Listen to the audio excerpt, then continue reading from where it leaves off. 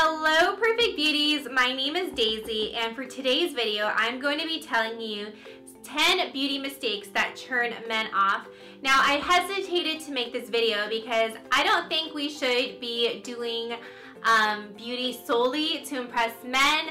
I honestly, I wear makeup and I started my whole YouTube channel because I love makeup, hello. However, men might think of makeup differently. So if you are interested in what men don't like, then stay tuned. So the first complaint that guys have about women and their makeup and beauty habits is wearing too much fragrance. So I can completely understand this because I've definitely been in situations where the woman is just in the elevator and I cannot breathe. My trick for this is I actually put the fragrance if I'm wearing um, like a skirt or a dress, I will put the fragrance behind my knees and I find that this way I don't overpower my scent or else just, you know, if you're wearing a darker fragrance, just, you know, put two spritz, dab it, and then put it either behind your ears, behind your neck, or in your um, cleavage area.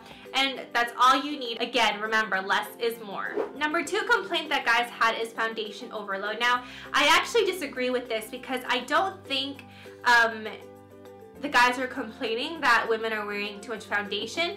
I think it's because um, the woman is not like doing the foundation right or she is applying a bad color or a bad texture or a bad shade on her. So it's very, very obvious um, that she's wearing the wrong foundation. So for me, whenever I buy new foundation, I will put on my face and let it sit for a few hours and see just how it looks in natural light. Here are some like natural looking foundations that I like.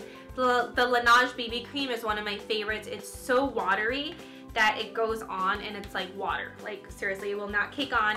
Makeup Forever HD, just don't like apply too much, but apply just areas where you need coverage. And also things like um, any kind of BB cream or tinted moisturizer or primer is probably a safe bet because it won't look super cakey. Three is spidery lashes. So guys do not like spidery lashes. I actually really like spidery lashes, so I don't really know we disagree on this, but to make sure you're not having spidery lashes, just put on, I guess, two or three coats max of mascara and use a combing brush to comb it through. Uh, make sure to curl your lashes because that will kind of give you more lash for your mascara buck, I guess. And also, don't be afraid to try out false lashes. Now, I'm not advocating maybe the lashes I'm wearing because it might be too dramatic for like a daytime date, but you know, try thinking of maybe half, half lashes, wispy lashes, or um, getting eyelash extensions because that will make your eyelashes fuller without giving the spidery look. The next tip is too much bronzer. Now, I actually love a lot of bronzing, highlighting, whatever, and that's great for doing a photo shoot or being in front of the camera, but if you're just on like a girl next door kind of date, girl next door, or guy next door kind of date, um, try either just not using bronzer or just doing a very light hand or applying a bronzer that is like one or two shades max darker than your actual skin color that is matte and make sure to blend it and buff it in. Usually when I um, want to look very natural, I will take and do my normal, like, um, I guess, um, contouring routine, but then I'll take another brush, I'll take another fluffy brush and then reblend everything to make sure that um, it's not like dark line. Five is yellow tinged teeth. So um, to combat this, all you need are Crest white strips, um, or just use like a whitening gel. I got mine from CVS for like 10 bucks. It doesn't need to be super expensive. If you drink coffee or tea, try drinking coffee or tea through a straw because I definitely think coffee stains lips. And also, if you can, wear like a berry toned lipstick or lip gloss. It will help make your teeth look whiter. For example, I feel like my teeth look super white in this. This is um, Ruby Woo by MAC and it has a bluish undertone. Six is sticky lips. So maybe he wants to get a smooch in there, so just do not wear super glossy, sticky lips.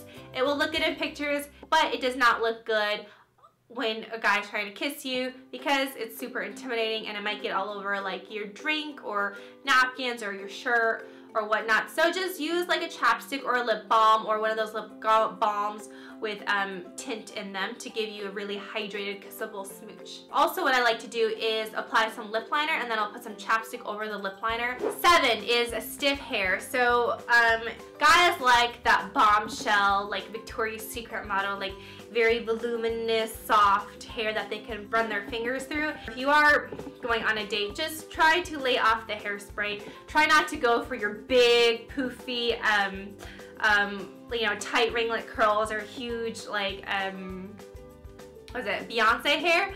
Just try to go something very natural so that way your hair won't appear too stiff and that way there's a lot of volume and bounce as you walk or I don't know, as you move it.